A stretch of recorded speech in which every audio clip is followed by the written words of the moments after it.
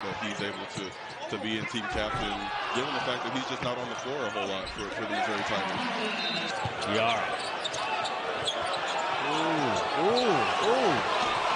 Boy, LSU. Another cutter. Honor underneath. Diarra. Three this year.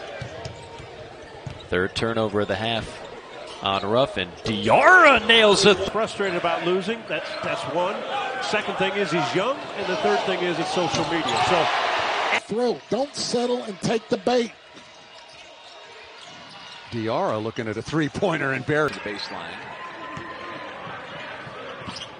Cole driving on Diarra. It's not really in play, but that's a front end of a one and one, and everybody there was unaware of it. Tough shot underneath, but again, the Aggies aggressive to the backboard. That one. Re- Half court. This has been a half court offense in this game so far. Nice cut to the basket, and Jackson retreats to the corner, tries a three. It's off the mark. Hayden Brown offensive rebound, put back. Lorca Lloyd was injured. Dingle, the 20 point per game scorer, still looking for. Tough shot underneath, but again, the Aggies aggressive to the backboard. That one rebound.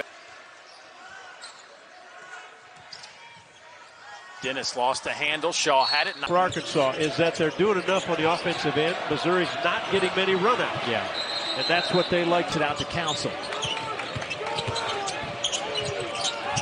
Oh, if that was a pass or not, but it is. Explosive weapon for this Alabama offense. Chameleon with a hand in his face. And the offensive follow Diarra. Had it halfway down, couldn't finish into the game, finds Diarra.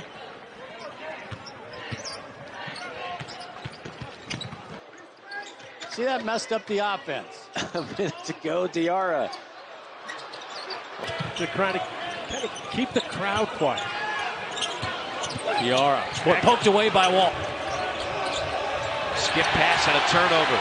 Stolen away by Diarra. Diarra leading. Caldwell makes it a 13 point game. You get the feeling this final three minute change stands type of games this time of year. Great job by Hodge. Leads the SEC in steals. Behind the back and the slam. Done.